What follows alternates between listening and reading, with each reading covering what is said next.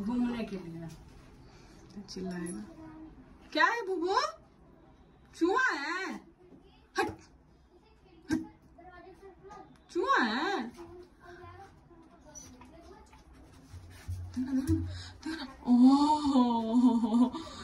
भी ना जा देना